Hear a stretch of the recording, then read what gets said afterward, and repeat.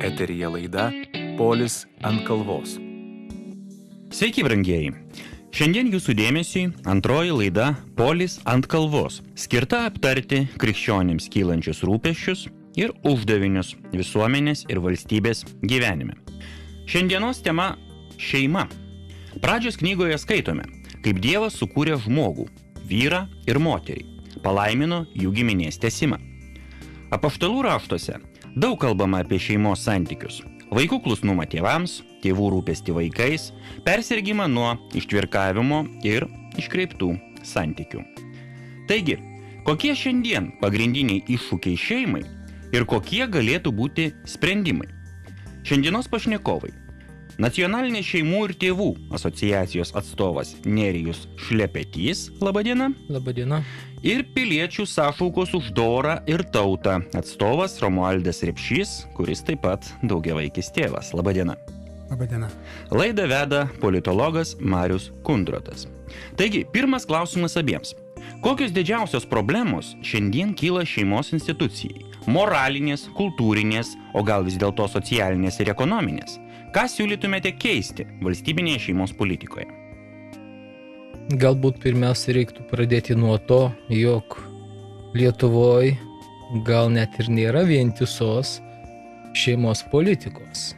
Yra politika fragmentuota į tam tikras grupės socialinės. Tai vaikas, nepilna šeima, šeima, kuri patiria tam tikrus sunkumus, tačiau vientisumo tame, kad valstybė matytų šeimą kaip vienetą ir matytų kaip vertybę, tai visgi yra problemiška. Tai liūdė ir ilgos užsitęsusios diskusijos ir balsavimai Lietuvos Respublikos Seime dėl šeimos sampratos apibrėžimo, konstitucijos keitimas, kuris niekaip nesiryšta įtvirtinti šeimos sampratos. Aišku, Tulas gali paklausti, jog ar apibrėžimuose yra esmė. Tačiau apibrėžimas yra tik tam tikra nuoroda ir parodo tai, ko valstybė siekia, orientuojasi ir kaip šeima traktuoja. Tai visi jūsų išvardinti minimi punktai yra teisingi, nes ir socialinę problematiką paliečia, ir moralinę, ir tiesiog visuomeninę. Tai galbūt pradžiai tiek, vėliau, manau, išplėtosime. Be abejo, Romai, koks paties požiūris, pagrindiniai iššūkiai šeimai. Man atrodo, kad pagrindinis iššūkis šeimai tai yra samoningas daros griuvimas. Ir įdomu būtų išsiaiškinti, kas tai daro ir kokio tikslo tai daro. Labai įdomus atsakymas, manau, perspektyvoje išplėtosime. Antrasis klausimas. Sociologai vis grėsmingiau kalba apie Lietuvos ir Europos senėjimą. Jauni žmonės dėlsia kurti šeimas, gimdyti ir auginti vaikus. Ko pirmiausiai reiktų, kad jaunas žmogus atrastų prasme ir džiaugsmą šeimoje? O gal tai natūrali mūsų civilizacijos mirtis ir visuomenės merdėjimą galima išspręsti vien tik įsileidus gausų kiekį imigrantų? Vėlgi, turbūt grįžtame prie pirminio klausimo ir galbūt čia pasituočiau, pakartočiau, na, tokios lietuvių sociologijos Eglės Lomenskaitės mintį, ar sociologas, mokslininkas, politikas yra pajėgus tik konstatuoti tikrovėje vykstančius procesus, ar gali turėti joms įtaką. Akivaizdu, kad sakydami, jog pasaulis keičiasi ir mes turime prisitaikyti ir priimti tuos iššūkius, yra galima dviejo palaikysena. Pirma, laukti, kaip jūs sakote, civilizacijos tam tikros pabaigos, kita vertus, būti tais, pavadinkim, bibliniais žodžiais žemės druska ir pasaulio šviesa. Galbūt skambiai pasakyta, tačiau kiekviena visuomenė išgyvena tam tikrą nuosmokį ir galbūt vėliau yra tam tikras šansas pakilti. Ir nepaisant to, kad mūsų visuomeniai šeimos instituto reikšmė, svarba galbūt yra maskuojama, mažinama ir madinga būti kiek kitokiu, išsiskiriančiu, ieškančiu savo lytinės tapatybės bei originalumo ir visa tai yra priimama kaip tam tikras nu, mūsų gyvenimo kasdienybės momentai, kurie paįvairina. Tačiau vertybės, kurios išsilaikė tūkstantmečius, jos yra aktualios ir šiandien. Ir tas mados kliksmas praeis ir po to nieks neprisimins tų pseudo žvaigždžių, tam tikrų reiškinių ir, žodžiu, visą tai. Praeinantis dalykas jūsų nuomonė. Taip. Supratome gerai ir dabar turėsime muzikinę pertraukėlę. Jūs klausotės laidos Polis ant kalvos. Grįžtame į eterį. Nesunku pastebėti, kad vakarų valstybėse, o dabar jau ir Lietuvoje, gana aktyvios grupės propaguoja laisvą lytinį elgesį, homoseksualizmą ir panašius reiškinius. Siūloma net į vaikų mokymo programas o taip pat grožinę literatūrą, įtraukti pasakojimus apie du įsimylėjusius princus, skatinti palankų požiūrį į seksualinę revoliuciją. Taigi iš esmės klausimas abiems. Ar valstybė turėtų reguliuoti visuomenės moralę, ar visgi darybių ūkdymą reiktų palikti šeimai ir bažnyčiams? E, šiaip tai verta prisiminti mūsų himną, kur aiškiai pasakyta, kad tegu tavo vaikai eina vien takais darybė. Tai valstybės politika turėtų būti būtent remtis tuo pagrindu stiprinti ir puoselėti dorą.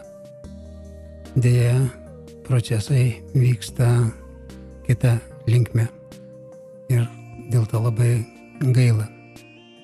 Žodžiu, jūsų nuomonė, valstybė įstatymais turėtų reguliuoti visuomenės moralę.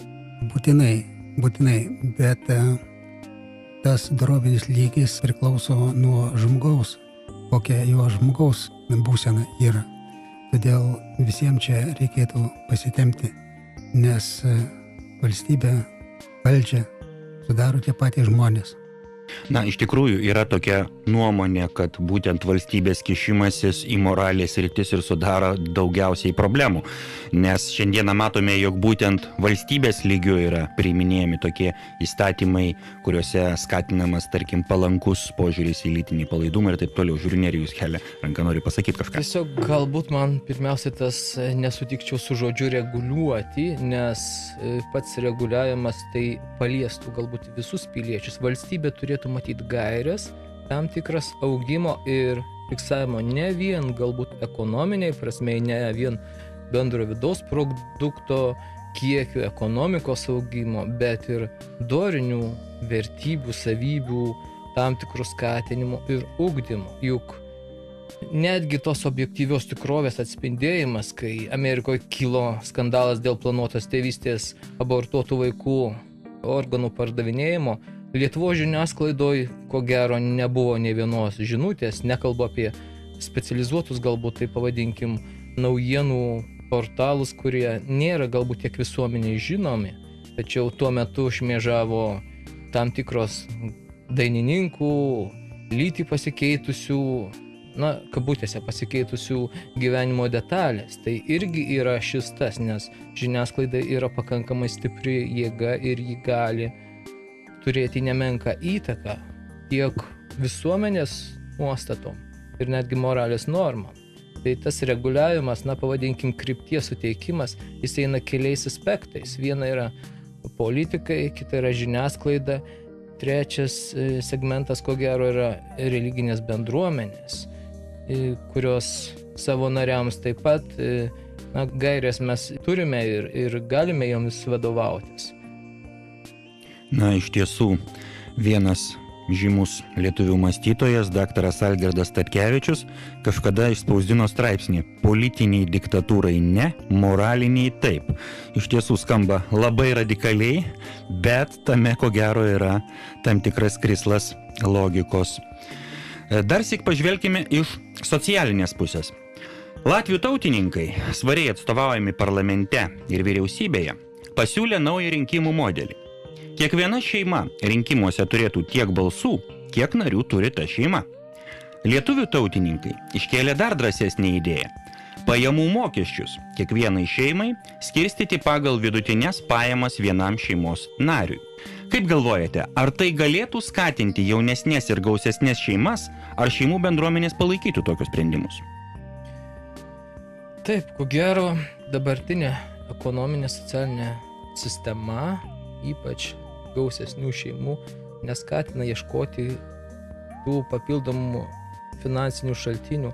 Na ne tai, kad neskatina, bet ji yra nepalanki, nes yra tie baziniai dydžiai tokie maži, jog papildomos pajamos praktiškai atima tai, kas yra papildomai uždirbama. Tai todėl jinai yra orientuota ne visai socialiai ir dabar Seime ta pristatyta progresinių mokesčių idėja, jinai irgi yra įdinga, juk logiškiau būtų skaičiuoti šeimos pajamas, nemokestinama šeimos pajamų dydį ir pagal tai vykstyti tą, pavadinkime, ekonominę politiką. Tai ir kartu šeiminę politiką, jau nekalbant apie būsto įsigijimo klausimus. Gausesnės šeimos negali to savo leisti, todėl kad tai yra finansiniai reikalavimai tiek bankų, tiek apskritai, na, bet kuri veikla, nebent verslo žmonės galbūt galėtų savo tai leisti, bet tai yra nedidelė dalis. Ir visą tai vienaip ar kitaip sudaro tą bendrą foną, kuris, na, nesukuria tų sakykime, palankesnių sąlygų patiems žmonėms nesijausti valstybei našta. Šeima nori jaustis oriai, dirbdama, uždirbdama ir augindama vaikus. Savo šalyje, savo šalies piliečiais. Galbūt neatsitiktinai kilęs pasipiktinimas imigrantais kyla ne dėl to, kad krikščioniška būdama tauta negalėtų priimti kažko, bet yra skirtingas traktavimas savų ir, pavadinkim taip, svetimų ir tarsi visame tame. Ir labai keista, kai tų apologetai tolerancijos prisimena, kad mes esame krikščionys, tačiau kai svarstomi klausimai liečiantis šeimą, gyvybę, tuomet mes esame tolerantiški labai ir leidžiame negimusios gyvybės naikinimą, kitus šeimos instituciją iškreipiančius įstatymus ir netgi kišimas į pačią šeimą, nes paskutinės ES direktyvos rezoliucijos priimtos, jos įpareigo šalis perkelti tas lytinio švietimo programas į mūsų nacionalinę švietimo sistemą. Ar šiuo metu vyksta šeimų organizacijų diskusijos su Lietuvos Respublikos Seimo nariais, ministrais, kitais politikais, e, šitais socialiniais šeimų klausimais? Ir jau tikriausiai čia daugiau pats galėtum atsakyti. Na, dabartiniu metu tai yra dirbtinio apvaisinimo pagalbinio įstatymas svarstomas, kur taipogi susikerta daug interesų. Iš vienos pusės yra žmonės, kurie na, negali turėti vaikų. Tų, tų priežasčių čia mes neaptarinėsim, nes jos yra įvairios ganėtinai. Tačiau Lietuvos galbūt piliečiai žmonės yra mažiau iniciatyvus, nes toj politinėje visuomeninėje veikloje aktyviai dalyvaujančių galbūt yra iki 10 procentų. Ir esant Seimo nariai nesulaukdami kažkokiu tai raginimų, pasiūlymų, laiškų, ten tiesioginių kreipimuose, jie ramiai tuos įstatymus gali priimti. Todėl čia ir krikščionių bendruomenėm tenka tam tikras iššūkis būti aktyvesniais politikoje. Tikėjimas, malda, dalyvavimas bendruomenės krikščioniškos gyvenime yra svarbus momentas, tačiau nemažiau svarbus yra dalyvavimas ir valstybės gyvenime. Ir nebijojimas to Jėzaus pasakymo, būkite Evangelijos liudytojai, eikite į visą pasaulį, jis tinka mums visiems ir 21 amžiuje, kai mes girdime, jau krikščionys remiasi ne mokslo kažkokiamis tai mitologijomis, iš tiesų daugelis mokslininkų grįžta prie tų Biblijos tiesų, kurios yra patvirtinamos gyvenimu. Ir tai nėra tušti žodžiai. Iš tiesų, puikus atsakymas. Ir dabar turėsime trumpą muzikinę pertraukėlę. Jūs klausotės laidos Polis ant kalvos. Kągi, grįžtame prie mūsų pokalbio. Viena opiausių problemų šiandienos jaunimo gretose - smurto ir patyčių kultūra. Kai kurie publicistai, viešosios kultūros atstovai regis sąmoningai tai skatina. Ką reikėtų keisti švietime, kultūros politikoje, ką šio klausimu galėtų nuveikti partijos ir visuomeninės organizacijos. Pats Romualdai buvai Seimo nario padėjėjas, turbūt irgi šią temą kažką galėtum pasakyti. Teisingai pastebėjai, paprasčiausiai tas vadinamas smurtas, jisai buvo visais laikais. Jaunimas mokyklose, na, jaunas žmogus, jis e, reiškia taip e, aktyviai, yra judrus ir visą laiką kyla konfliktai. Ir e, būtent, sakau, dabar yra tai labai sureikšminama ir netgi manipuliuojama tuo. Nėra čia tokios didelės problemos, ją galima paprasčiausiai naudodamas tą išmintimi, kurią turi mūsų tauta, jas ramiai spręsti. Kaip nerijau žiūrėtum į šitą problemą? Na, galbūt tai yra visuminis požiūrio į žmogų klausimas, nes tai nėra atskira problema, kuri egzistuotų tik moksleivių tarpe ar jaunimo tarpe ar kokios nors kitos visuomenės dalies tarpe. Tai yra bendro požiūrio į žmogų kaip vertybę, kaip Dievo kūrinį žvilgsnis, nes viskas prasideda kaip ir tam posakį žuvis pūna nuo galvos, tai nuo direktoriaus santykio su pavaldiniu, nuo tėvo santykio su vaiku ir taip ir visoje visuomeniniai bei organizacinėje struktūroje. Tai geros organizacijos klestinčios tiesiog direktorių net pažįsta visus darbuotojus ir su jais asmeninį santykį praktiškai gali užmėgsti arba, nu, nežinau, dideliai bendruomenė tarsi ir visų vardų žino.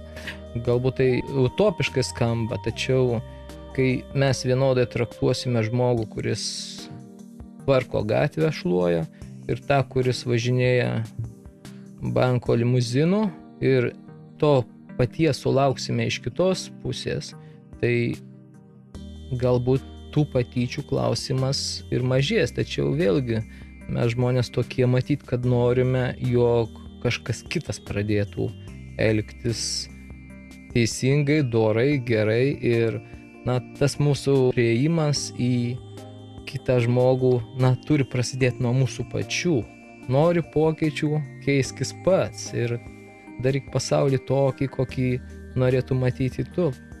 Tai ta tiesa, kuri atrodo, na, tokia banali ir tokia kasdieniška, tačiau ji yra gili ir praktiškai pamatinė. Na, aukso taisyklė - elgtis su kitu taip, kaip tu pats norėtum, kad su tavim būtų elgiamas. Tai tuomet galbūt nereiktų tų visų prevencinių programų, ten kažkokių tai kitų programėlių ir taip toliau. Na, bet nerijau šiandieną iš tikrųjų šita smurto ir patyčių kultūra yra tiesiog madinga. Jauni žmonės žiūri į tam tikrus pavyzdžius, žvaigždės, žurnalistus, popkultūros atlikėjus ir taip toliau ir galvoja, kad tai yra šaunu, tai yra liuks, tuo reikia sekti kad aš būsiu tuo šaunesnis, kuo, kuo labiau pažeminsiu kitą, nuskriausiu ir taip toliau ir tokiu būdu tarsi iškilsiu virš jo. Ar iš tiesų asmeninio pavyzdžio šiuo atveju užtenka, ar reikėtų kažkokiu įstatyminių teisinių kelių spręsti šitai problemai?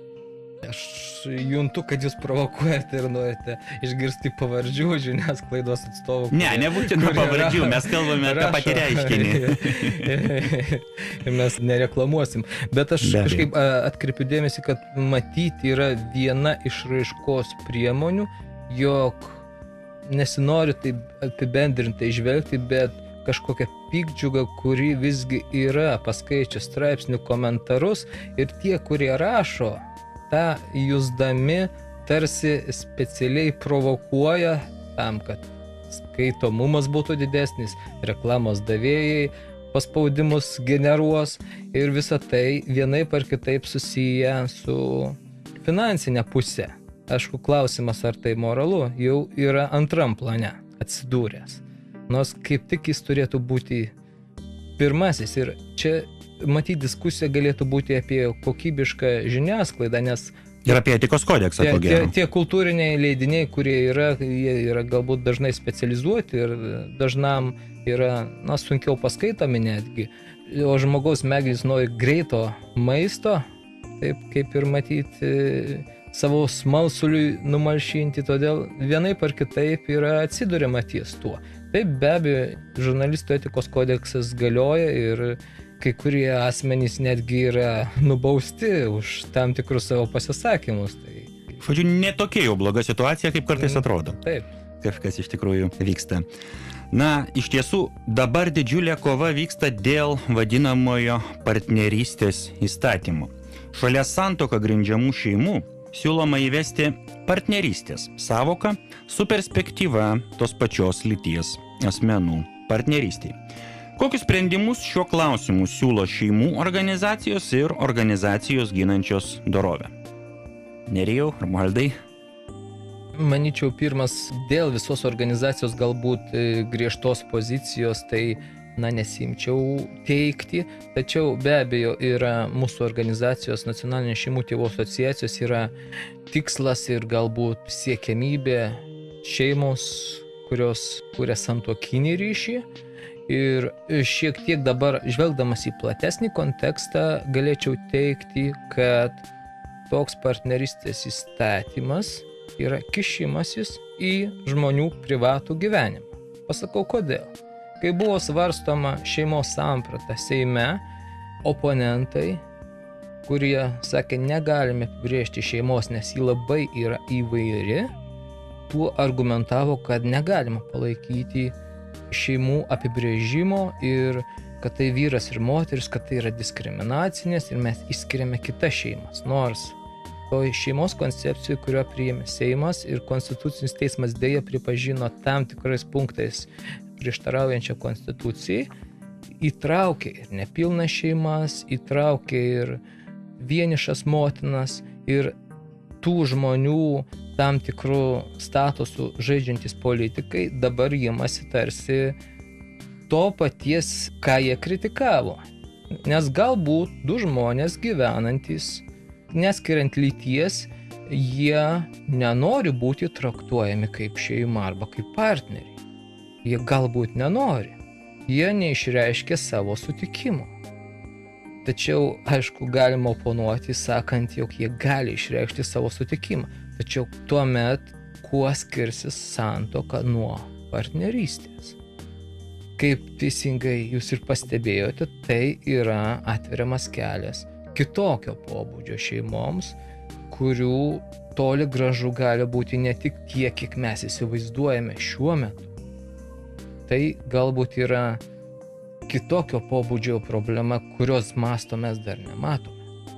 Mes nesame prieš kitokių gyvenimo aplinkybių ištiktų žmonės, bet šitos situacijos ir problemos mastas, ko gero, yra žymiai platesnis.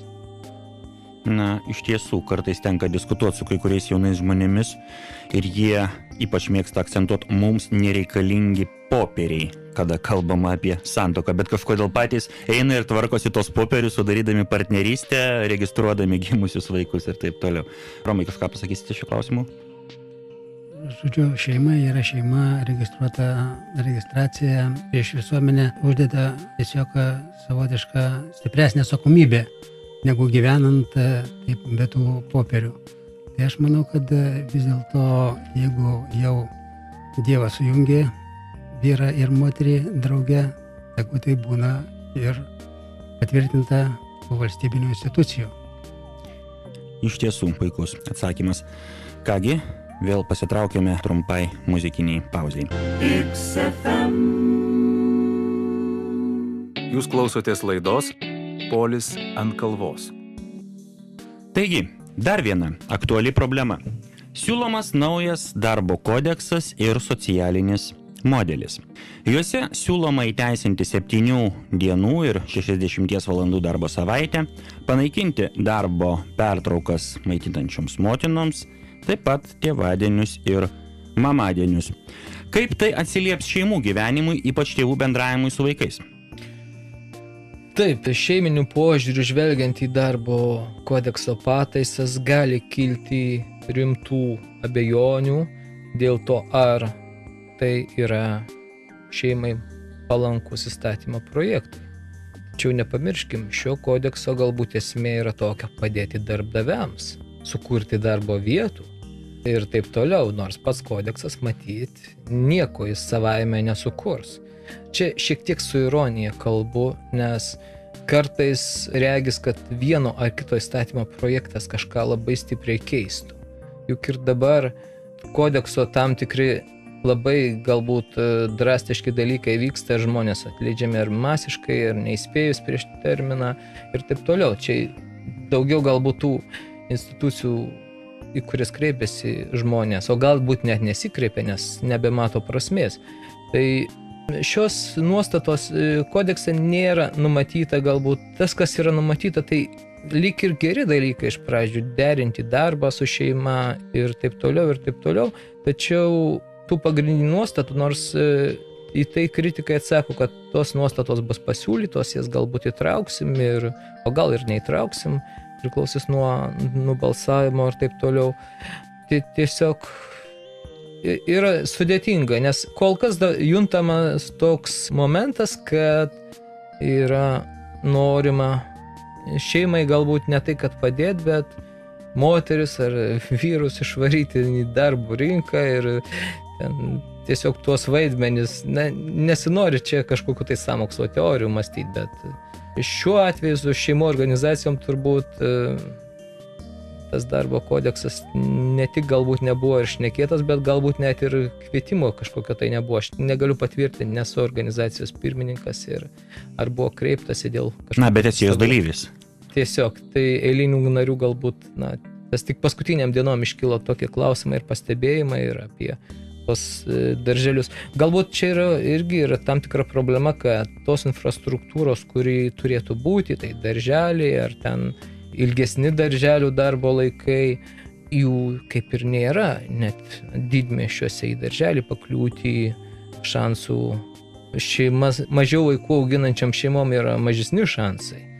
Tai čia irgi yra tam tikras momentas. Tai... Na, dėl vaikų darželių iš tiesų taip pat yra labai įvairių nuomonių ir kiek tenka bendrauti su šeimų organizacijų žmonėmis. Kai kurie netgi teigia, kad darželis tai yra būdas e, valstybei perimti vaiką iš šeimos. Na, bet iš tikrųjų šiais laikais, kada abu tėvai dirba, yra pakankamai sudėtinga suderinti darbą ir buvimą su vaikais. Tai taip, aš kalbėdamas vieno momento nepaliečiau, kad visgi yra moterų, kurios norėtų būti, dirbti su savo vaikais ir jų netiduoti valstybinėm įstaigom.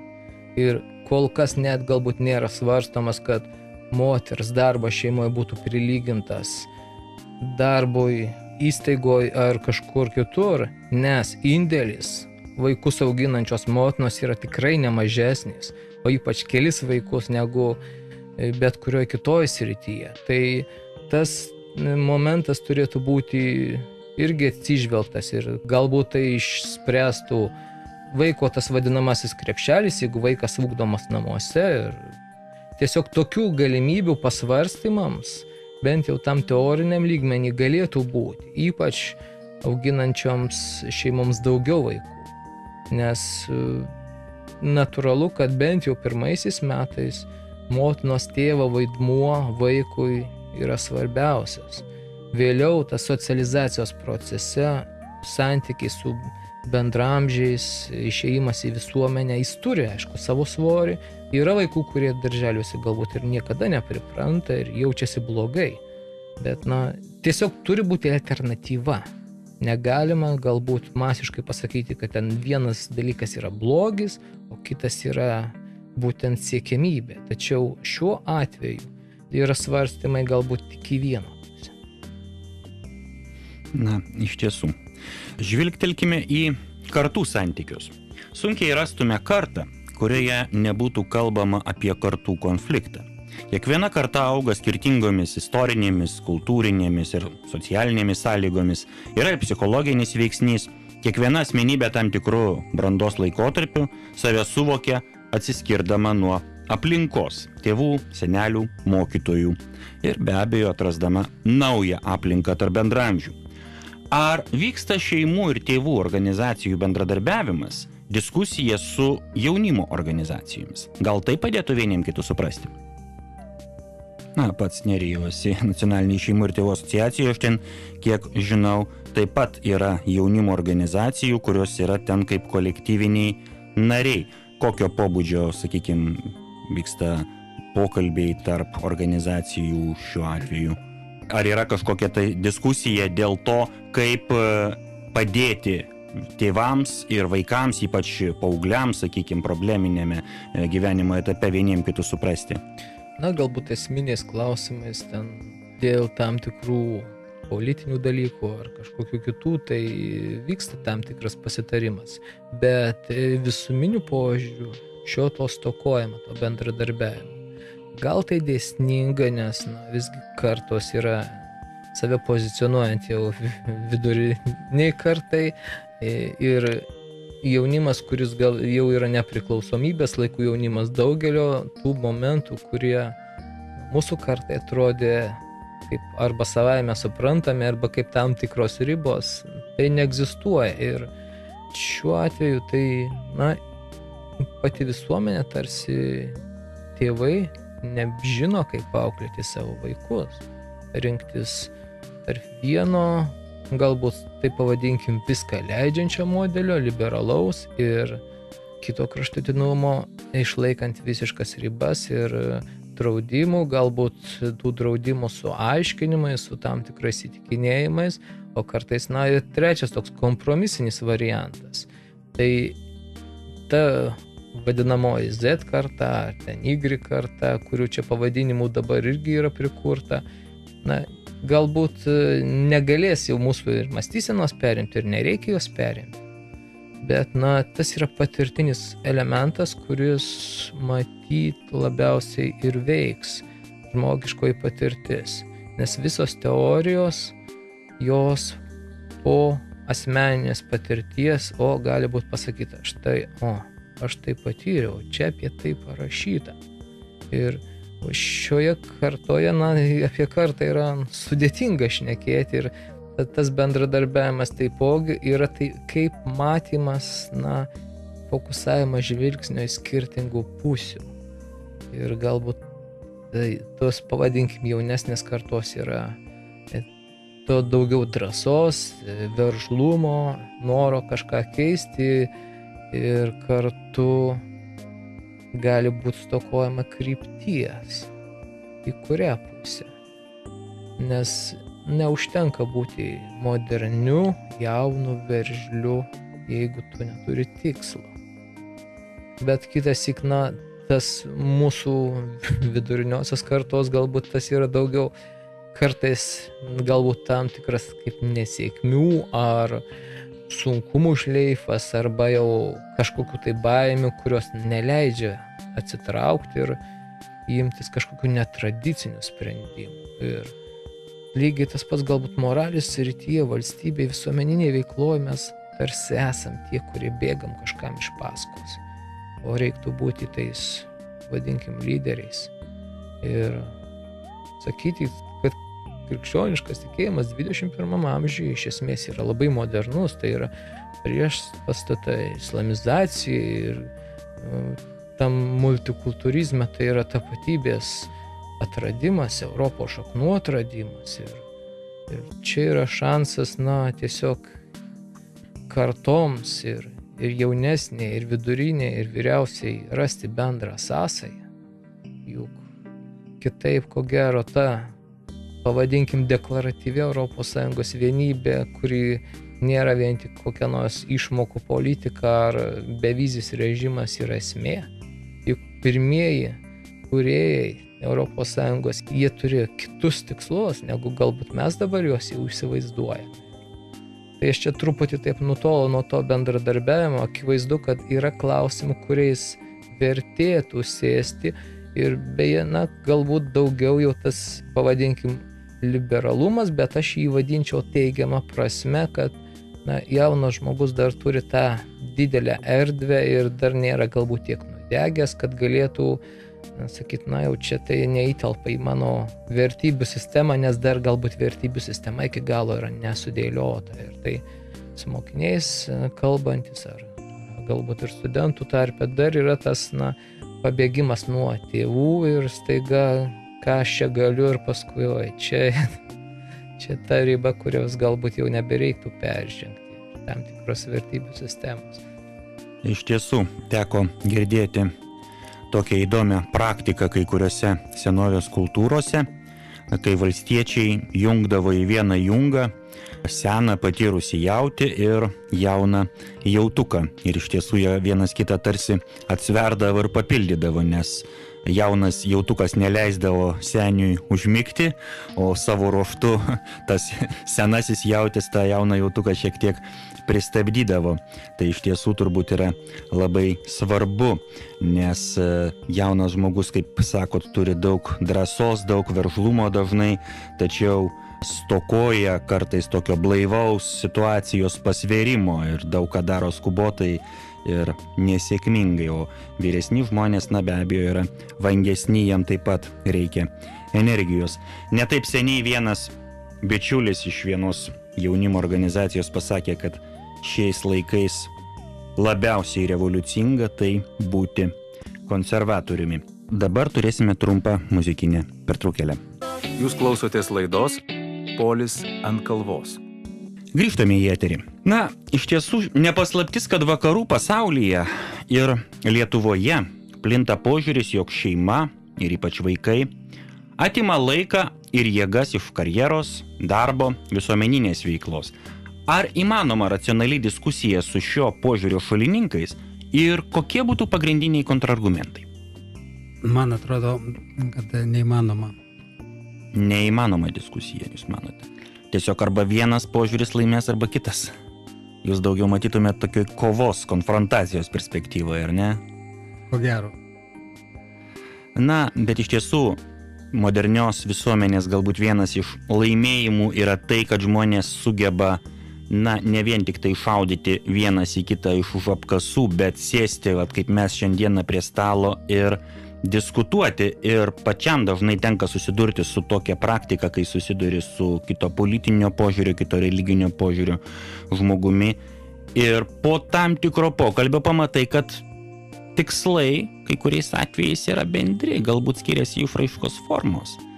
Tai iš tiesų juk tiek darbas, tiek karjera, tiek visuomeninė veikla yra gėris, iš esmės tai nėra blogis, bet vad būtent pusiausvyra, pusiausvyra, kada reikia skirti dalį laiko ir jėgų šeimai, o dalį, sakykime, tokioms viešesniems veikoms, ta pusiausvyra yra labai probleminė.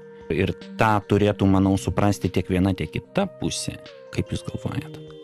Taip, visuomeninės ir darbinės veiklos ir šeimos santykis tai nėra lengvas ir tokia diskusija gali būti tik tuo, kad, na, kaip tam tikras galbūt pasirinkimas ar pašaukimas, mano tai, tavo tas yra, tačiau, na, kaip ir vienam posakį, pinigais neusiklosi, karjera nepaguos tavęs ir, žodžiu, vienatvės neįsklaidys tavo dideli namai, kuriuose galbūt daugiau nieko nebus.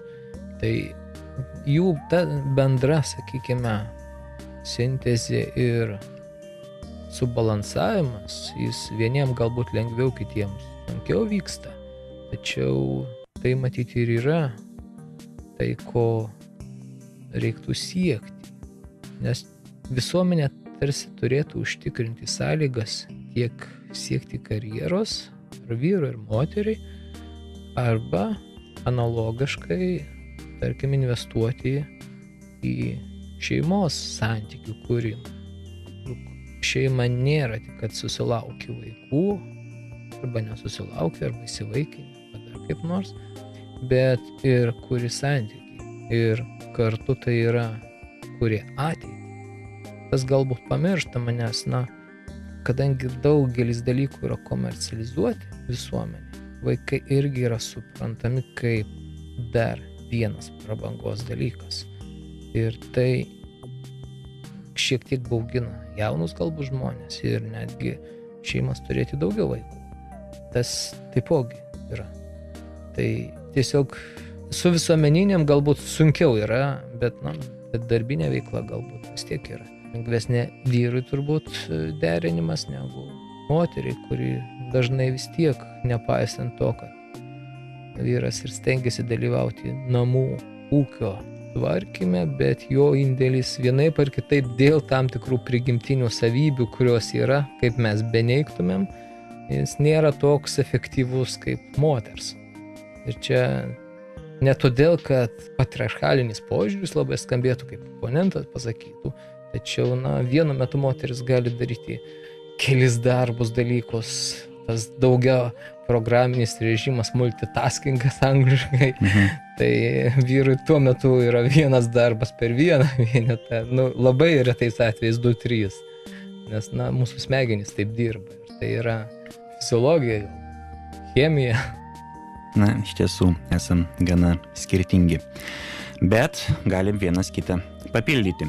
Be abejo, kartais kyla problemų, kai žmogus skiria kažkiek tai laiko ir jėgų visuomeniniai veiklai, o šeimos nariams atrodo, kad to laiko šeimai pristinga. Na, bet čia jau abipusio supratimo reikalas ir matyt tokiu atveju jau nebe visuomeninėms organizacijoms, o vyrui su žmona reikia sėsti ir išsikalbėti.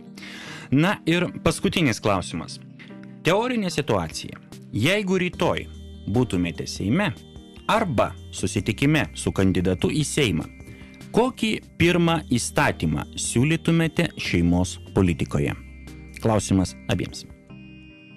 Taigi, manau, kad tokį ūkinį iškart šeimos pajamų sampratos dydžio apibrėžimas bei su tuo susiję tam tikri dalykai, kad šeima galėtų oriau jaustis ir būtų suinteresuota pasiekti kiek įmanoma daugiau, derinant tiek darbinius dalykus, tiek šeimininius.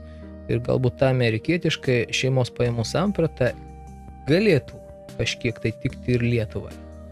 Ir po to galima jau būtų svarstyti apie kitus aspektus ten. Prieš mokyklinio augdymo ar papildomų veiklų derinimas. Tiesiog toks praktinis galbūt momentas, nes dabar galbūt valstybė iš vienos kišenės paima, į kitą duoda. Tai tas pajamų perskirstimas per socialinės politikos, tai pavadinkim, pašalpų sistemą, jis, na, nėra efektyvus. Tai čia kalbant apie tokius ūkinius. Kitas dalykas galbūt, na, visgi, kad tam turbūt ir įstatymų nereikia, kad šeima jaustųsi pakankamai oriai ir jos indėlis būtų vertinamas kažkaip dažniausiai netgi ir žiniasklaidos kontekste šeima, ypač jeigu gausesnė, tai jinai yra tarsi stereotipiškai nupiešiama kaip probleminė, turinti tam tikro asocialumo netgi požymių. O to būna, bet tai tikrai nėra vyraujantis dalykai. Ir šitoj vietoj valstybės turėtų būti parama ne galbūt per, sakykime, konkrečius dar papildomus finansinius rautus, bet per paslaugų sferą. Tarkim, būreliai neapmokestinami kažkiek tai, kitos veiklos papildomos. Tiesiog, na, kas vis dėlto eitų tikslingai švietimo, ūkdymo ir to išsiveržimo iš tam tikro galbūt netgi skurdo rato kai kuriais atvejais. Tai tokie galbūt du dalykai ten, tie apibrėžimai galbūt jie savaime šeimos buvę nebuvę, bet valstybė turėtų savo politikoje tą apibrėžimo turinį turėti. Ir tai, tai turėtų būti pagrindas. Kaip ir konstitucija pasakyta. Šeima yra valstybės pagrindas. Be jokios abejonės. Romai? Labai samos nerijos projektas, aš norėčiau būti bendrautoriumi. Na, iš tiesų, džiugu, kad sutarėme ir galime kartu šnekėtis, kartu bendrauti ir kartu veikti. Iš tiesų, palinkėsiu visiems, mums be abejo ir savo pačiam, būti ta žemės druska ir pasaulio šviesa, kuo mus ragina būti Kristus. Labai dėkoju visiems klausytojams, dėkoju pašnekovams ir iki kitų malonių susitikimų. Sudie.